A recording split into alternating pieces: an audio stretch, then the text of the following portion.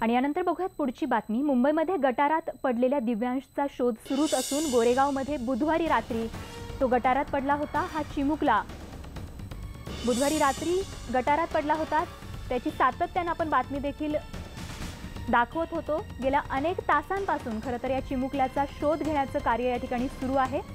आधी जेसीबीच्या सहाय्यानं हे कार्य सुरू होतं त्यानंतर गटार फोडण्यात आलं आणि हे गटार फोडून ह्या चिमुकल्याचा शोध सुरू मात्र अद्याप हाती काय लागलंय का याबद्दल अधिक माहिती देण्यासाठी रमाकांत तिवारी आमचे प्रतिनिधी आपल्यासोबत आहे. रमाकांत काय अपडेट या क्षणाची?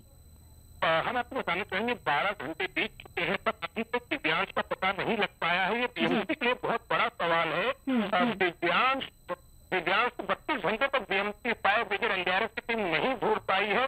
और रात में ये जो रेस्क्यू ऑपरेशन था बंद कर दिया गया. सुबह आठ ऑपरेशन शुरू किया गया फिर भी अभी तक पता नहीं चल पाया है और दिव्यांश के परिवार ने एक अल्टीमेटम दिया गया है अगर 12 बजे तक दिव्यांश का पता नहीं चल पाएगा हम्म, तो हम्म। वो आंदोलन करेंगे घेराव करेंगे हम्म। और ये करेंगे फायर ब्रिगेड का भी कहना है कि नाले के बहुत अंदर तक हम रेस्क्यू ऑपरेशन नहीं कर पा रहे हैं। क्योंकि नाला बहुत ही मतलब नाला जो है ऊपर से पूरा ढका हुआ है जिस। वजह से अंदर मिथेन गैस है हम्म। जिस वजह से हमें इस रेस्क्यू करने में हमें दिक्कतें हो रही हैं हम्म, तो हम्म। हम आपको ये बताएँगे कि बीएमसी इस समय के पूरी की पूरी फेल हो चुकी है।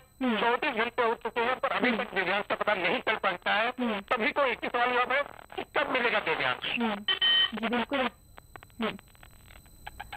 बहुत बहुत शुक्रिया इस जानकारी केली एकूणच आपण पाहतोय गेल्या अनेक तासांपासून हे शोधकार्य सुरू आहे मात्र अद्याप दिव्यांशचा कोणताही शोध लागलेला नाहीये तर आपण पाहतोय मुंबईमध्ये पालिकेच्या बेपरवाईमुळे अशा पद्धतीनं दिव्यांश हा अवघ्या तीन वर्षांचा मुलगा गटारात पडून वाहून गेलाय. गोरेगावमध्ये घडलेल्या या घटनेमुळे पालिकेच्या विरोधात मोठा संताप व्यक्त केला जातोय.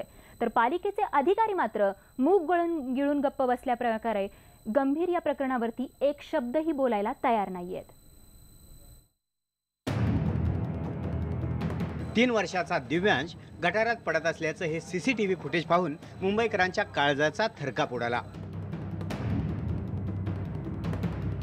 चिमुकला दिव्यांश रात्रीच्या सुमारास खेळत असताना घराबाहेर पडला. यावेळी बाहेर काहीसा अंधार असल्यानं तो चुकून एका उघड्या गटारात पडला. वाहणाऱ्या पाण्याच्या प्रवाहासोबत दिव्यांश वाहून गेला. घटनास्थळावरील बाजूच्या एका दुकानाबाहेर लावलेल्या सीसीटीव्हीमध्ये ही घटना कैद झाली. आहे पालिकेनं गटारं उघडी सोडली आहेत. त्यामुळं गोरेगावमधली ही उघडी गटारं धोकादायक ठरत आहेत. गटारं झाकली जात नाहीत त्यामुळं या आईपासून तिचं मूल हिरावलं गेलंय दिव्यांशच्या आईचा हा आक्रोश पाहून काळीच पिळवटून जात आहे बजे घर से निकला पीछे से मैं दौड़ के गई चप्पल पहन के अरे कब से नहीं मिल रहा है गटर में कूद गया पानी में बाहर वाला गटर में चला गया पालिकेच्या बेपरवाईमुळे हे गटार उघडं होतं दुर्घटना घटल्यानंतर आता दिव्यांशचा शोध घेतला जातोय गटार फोडून दिव्यांशला शोधलं जात आहे पण या दुर्घटनेला जबाबदार कोण याचं उत्तर मात्र दिलं जात नाही न्यूज एटीन लोकमतनं पालिकेच्या अधिकाऱ्यांना जाब विचारला पालिकेच्या अधिकाऱ्यांचा पिच्छा सोडला नाही पण पालिकेच्या अधिकाऱ्यांना एकाही प्रश्नाचं उत्तर देता आलं नाही सर तो आप लोग बीएमसी से हैं कि क्या क्या लग रहा था किस वजह से हादसा हुआ?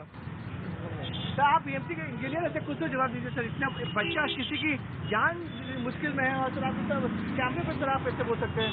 कुछ तो दीजिए सर पाटिल साहब कुछ तो बोलिए। क्या किसकी ज़िम्मेदारी? बच्चा यहाँ से लापता है इतने घंटे से। पाटिल साहब हम आपसे पूछ रहे सर आप आप आप सर आपको जवाब तो देना होगा सर? सर मैं आपसे पूछ रहा हूँ सर अगर ये बच्चा लापता है तो जिम्मेदार कौन है सर इसका?